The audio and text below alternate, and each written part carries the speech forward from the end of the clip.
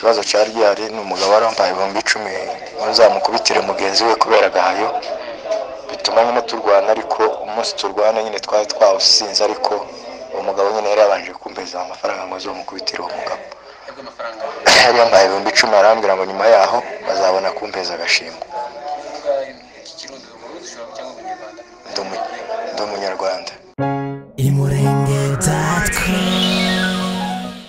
imurenge.com reka twongere tubahe ikaze inshuti namwe abakunzi mukurikirana ibiganiro byacu haba kuri shene yacu ya youtube imurenge tv ndetse namwe musura urubuga imurenge.com tukaba dufite amakuru aturuka mu minembwe avuga yuko hakaba havugwa amakuru y'abagabo babiri bafunzwe bazira gukubita mugenzi wabo. Abagabo bakaba bavuga yuko nubwo bafunzwe ariko nanone ngo bakaba barahawe amafaranga agera ku bihumbi icumi by'amafaranga y'amakongomani kugira ngo bakubite mugenzi wabo.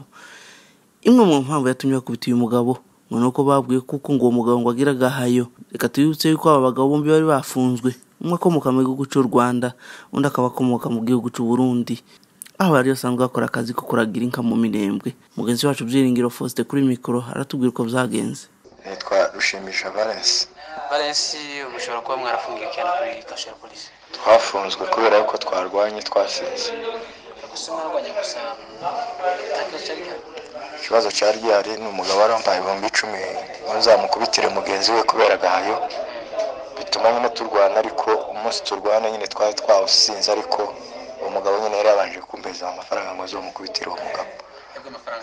Yari yambaye ibihumbi icumi arambwira ngo nyuma yaho bazabona kumpeza agashimwe. Ndi umunyarwanda. Nageze no mu bihumbi bibiri n'umunani. Nde naragiriraga karinga. Aya n'undi nari ndangije kuragiraho aho hanyuma avuga ko numukubita ashobora kugweza iki? Yari yambwiye ngo azampeza agashimwe ngo namara kumva ko namukubise. Urebye nyine ni amakosa yabaye kandi nyine umuntu iyo akoze ikosa ararihanirwa. Nta kundi nyine twiyemeje guhanwa kandi twemeza ko nyuma y'ibihano tutazongera kubwira urugomo mu gihugu kitari icyacu. Ngo yazaga agira agahayo ngo bamwoye arambwira ngo nzomukubite ngo nimumara agahayo ngo azanyongera izindi.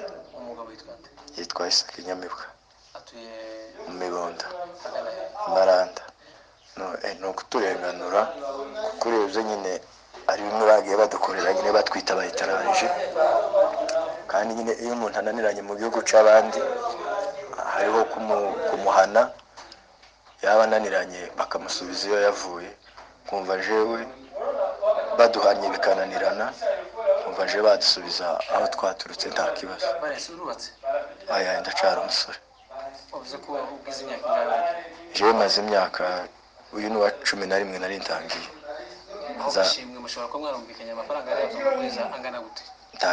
ntayo twavuganye yari yambwiye gusa ngo nyuma yaho niyumva amakuru yuko namukubise bazobona kumpeza agashimwe ariko ntako twari twavuganye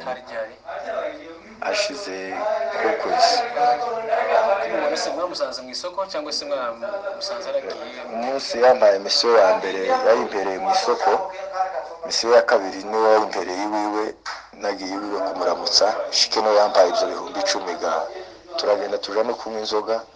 Tumare turatandukanaga. Njya nabona kugenda aho ngaho mbaye nkorera. Uyu nguyu twahuye ku wa mbere twari twari mu isoko dushike nyine tuguma kunywera mu isoko. Mu gutaha gihe twahuye n'uwo mugabo tubona kurwana. Kugeza ubu muri muri kasho hari abantu basura babaheza bashaka aya ndaba. Jewe nitwa muhorana patrick kanyaruguru tuye mu marunde Ah, naremye akazi rimwe nk'uko bisanzwe ndarimura hari nimugoroba saa kumi n'ebyiri twari kumwe na mugenzi wanje yitwa kawana turaturanye. Tugeze mu nzira nubu umuntu arampamagaye nturutse inyuma mu izina ndahagarara uwo muntu araza aramfata. Nsanga ni umunyarwanda ariko avuga ururimi rw'ikinyarwanda ariko mbona ndamuzi. Amaze kumfata mugenzi we aratambuka ahita akubita mugenzi wanje mugenzi wanje ariruka arahunga noneho ngerageza kwigwanaho kuko yari yamfashe cyane. Ashaka kunkura igikapu nari mfite. Noneho mugenzi we ahindukiye ahita akubita inkoni mu mutwe. Naho naherukiye ubwenge. Naje kongera kumenya ubwenge saa munani z'ijoro nsanga ndi mu bitaro mu nkango ndi mu serumu. Ariko abantu bagukubita by'ukuri bashobora kuba barakuzijije. Aba bantu bamaze kunkubita habaye nka saa munani ngarura ubwenge nza kwibuka umwe. Kuko yigeze kungeraho mu kazi rimwe kandi akazambwira ngo aranze ahaya ngendaho kunje sinabimenya. Ariko uwo munsi bankubise ngaruye ubwenge ndamwibuka kuko yambwiye n'umuntu azaragirira kuri none. Dufite amakuru ko hari umuntu ushobora kuba wari wabaha amafaranga ngo baze gukubita. Eh, ubwo ngubwo polisi yahise iza kumufata mu gitondo barabafata umwe ni umunyarwanda undi ni umurundi. Babagejeje aho ngaho barabasambishije. Baza kuvuga ko ari umuntu witwa Isaac Nyamubwa ari wo bahaye amafaranga ngo bazankubite. Ah, hakuziza iki mwamuturanye neza n'umuturanyi wawe? Oya ntabwo duturanye atuye i maranda jewe ntuye mu marundi. Gusa bavuze kuko naje nari mpari bavuze kuko ngo ico yababwiye ngo bazankubite ngo ngiragahayo. Nyamibwa ashobora kuba ari he? Aho atuye ni maranda jewe ngatura mu marundi. N'abo bantu bagukubise abo ngabo umwe atuye ku itara undi atuye mu rushasha. Hanyuma kugeza ubu ngubu rero ntishobora kuba wasaba leta kugira ngo njyewe ndifuza kuko leta yancungira umutekano wanje kuko kugeza none hano ndi mu bitaro ntabwo nizeye umutekano wanje neza. Ikindi kandi ndifuza kuko leta yabwira uwo muntu uwo Isaac waguririye abo bantu.